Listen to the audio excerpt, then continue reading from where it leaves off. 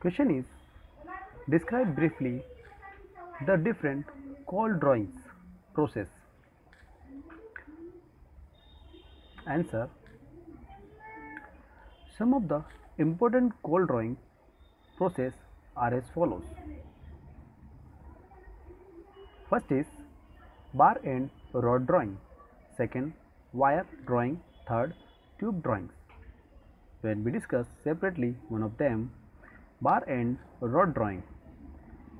In the case of bar drawing, the hot drawn bars are at first picked, washed and coated to prevent oxidation.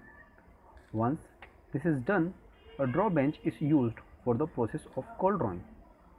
In order to make an end possible to enter a drawing die, the diameter of the rod is reduced by the swaging operation. The end is fastened by chain to the draw bench and the end is gripped by the jaw of the carriage. In this method, a high surface finish and accuracy dimensional obtained. The product of this process can be used directly without any further machining. Now, this is the basic diagram of it. Second one is wire drawing. Similar to the above process, the bars and the first picked, washed and coated to prevent any oxidation.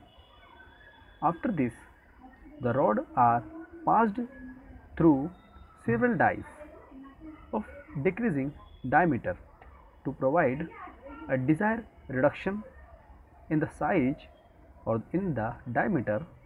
The dies used for the reduction process is generally made up of carbide materials. This is the basic diagram of wire drawing. When we are talking about the tube drawing, this type of drawing is a very similar to the bar drawing process and in majority of case it is accomplished by the use of a drawing bench.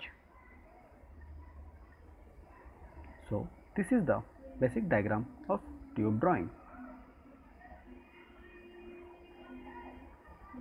Okay friends, this is all about the drawing process. Thank you for watching this video and please subscribe my channel for further videos. Bye.